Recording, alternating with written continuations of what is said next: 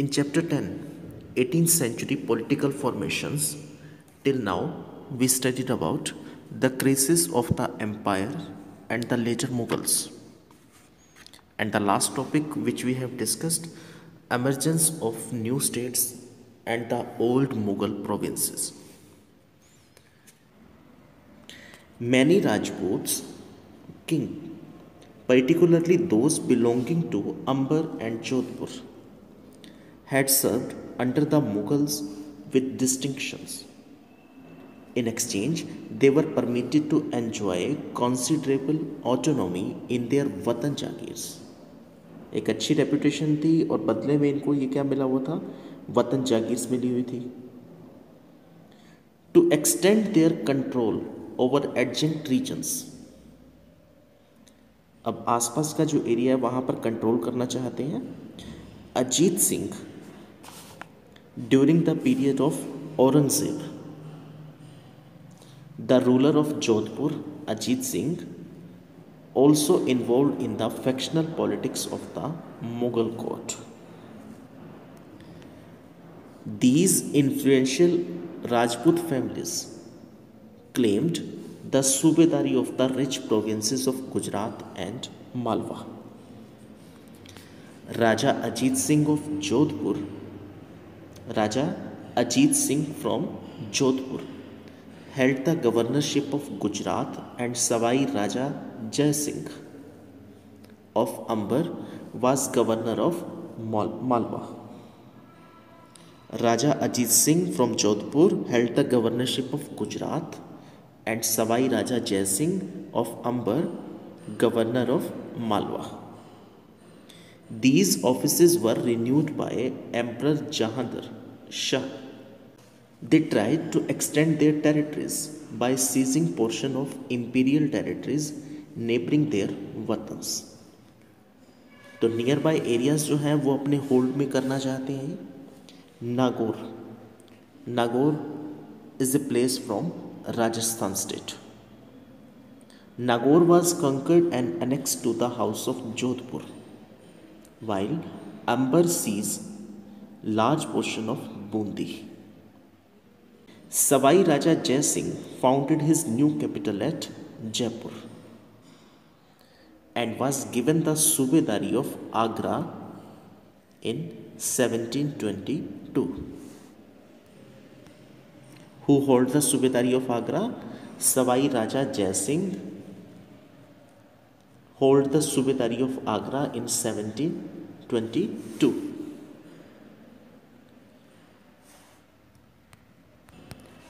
Maratha campaigns into Rajasthan from the 1740s put severe pressure on these principalities and checked their further expansion. One of the description from Raja Jai Singh in a Persian account we may see he was the governor of Agra for 12 years and of Malwa for 5 to 6 years. He possessed a large army, artillery and great wealth. Army better condition में है artillery arts के जो नुमाइंदे हैं वो अच्छे हैं and great wealth his sway extended from Delhi to the banks of the Narmada now during the, the period of mughal kingdom first thing we found emergence of new states new states जो निकल करके आ रही थी Awadh Hyderabad and third one is Bengal and second thing was there were some organisation some categories some caste who established their own structures who established their own states. One of them is the Sikhs. Sikh जिन्हें कहा जाता है The organization of the Sikhs into a political community during the 17th century helped in regional state building in the Punjab. Several battles were fought by Guru Gobind Singh against the Rajput and Mughal rulers, both before and after the institution of the Khalsa in 1699.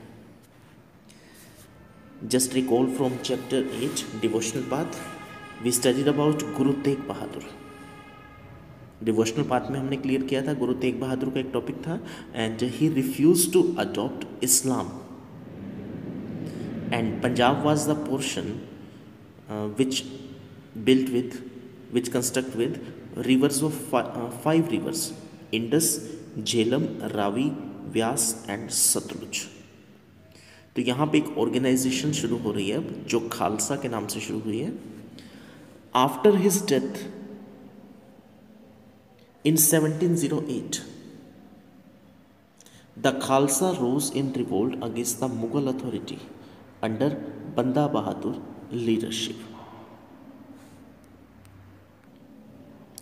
तो गुरु गोविंद सिंह के बाद उसको किसने संभाला? बात Baba Banda Bahadur.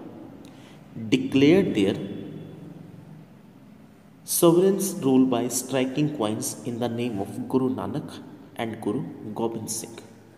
and established their own administration between Sutlej and the Jamuna अपने coins बनवा दिए इन्होंने अपना एक अलग एडमिनिस्ट्रेशन एस्टेब्लिश कर दिया sovereign means a free rule without interference of Mughals what is the meaning of sovereign sovereign means a free rule without interference of mughals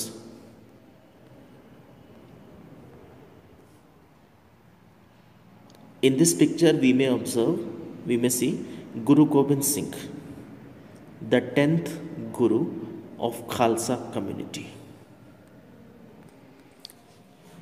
Under a number of able leaders in the 18th century, the Sikh organized themselves into a number of bands called Jathas. तो काफ़ी सारे इन्होंने groups बना लिए इन groups को नाम क्या दिया है? यहाँ पे जत्था एंड लेटर ऑन मिसल्स और इन जत्थास के बाद में जो ग्रुप बन रहे थे, वो थे misls their combined forces were known as the grand army Dal Khalsa the entire body used to meet at Amritsar at the time of Baisakhi and Diwali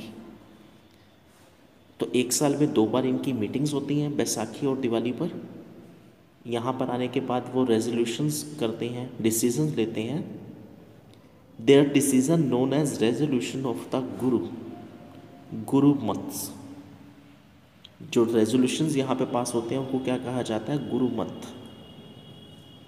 a system called rakhi was introduced offering protection to cultivators on the payment of a tax of 20% of the produce एक और system भी इन्होंने शुरू किया यहाँ पे 20 percent produce का लिया जाता है और उनको सेफ्टी प्रोवाइड करते हैं Guru Gobind Singh had inspired the Khalsa with the belief that their destiny was to rule. राज करेगा Khalsa. Their destiny was to rule राज करेगा Khalsa. Their well knit organisation enabled them to put up a successful resistant to the Mughal governors first and then to the Ahmad Shah Abdali